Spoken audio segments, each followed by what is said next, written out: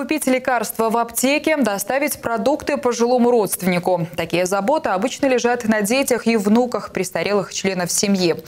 Однако, когда в Беларусь пришла пандемия, многие задумались о том, что их приход к пожилым родственникам может стать небезопасным из-за опасений стать переносчиком вируса. Именно поэтому в последнее время особенно востребованной стала помощь социальных работников.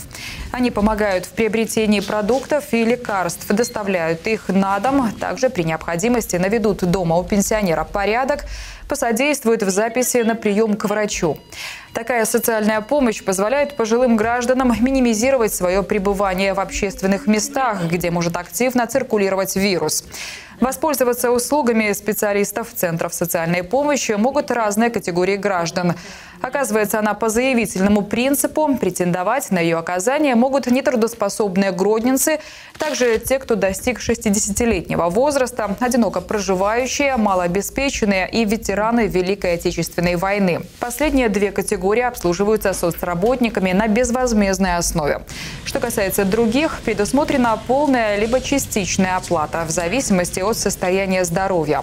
Впрочем, речь идет о чисто символических суммах от 8 до 14 рублей в месяц. В настоящее время в городе Гродно на социальном обслуживании находится 1406 пожилых граждан из инвалидов.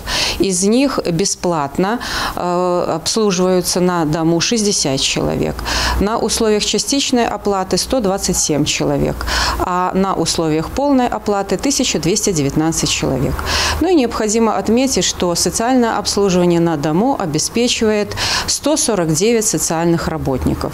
И учитывая эпидситуацию, которая в настоящее время у нас в городе, все социальные работники обеспечены не всем необходимым. Это и масками, и перчатками, и дезсредствами. И при посещении пожилых людей они проинструктированы и соблюдают все меры предосторожности. К слову, помимо помощи с покупкой продуктов и лекарств, социальные работники оказывают информационную, бытовую и реабилитационную поддержку.